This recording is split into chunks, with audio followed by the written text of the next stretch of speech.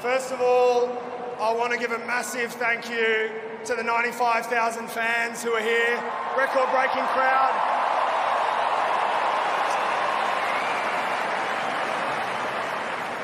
No matter whether you wear the black and white stripes or the red sash, this game's about so much more than the four points. So you turning up today and showing your support means a lot, and we're incred- incredibly proud to play our part in this game.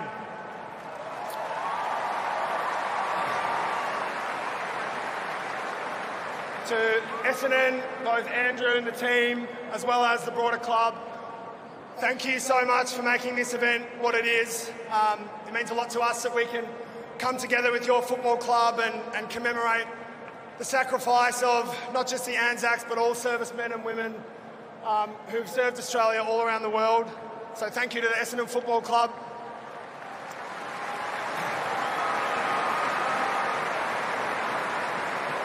I want to and mention all men and women who are serving our country's interests both at home and abroad in war and in peacekeeping operations.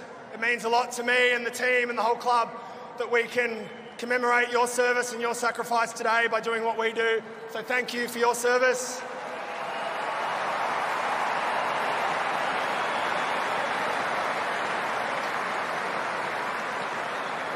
To the veterans, there are over 600,000 veterans in this country who have returned from service. We also extend our thanks to you for your sacrifice, and we hope that, again, doing what we do today somehow honours your legacy and, and what you've done for our country. So thank you to those 600,000 veterans as well.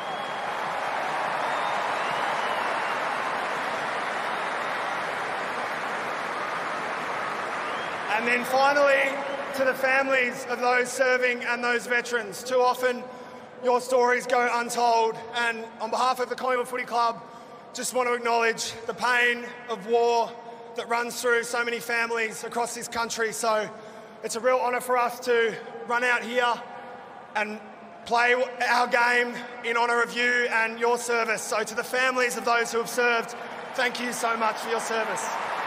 Thank you.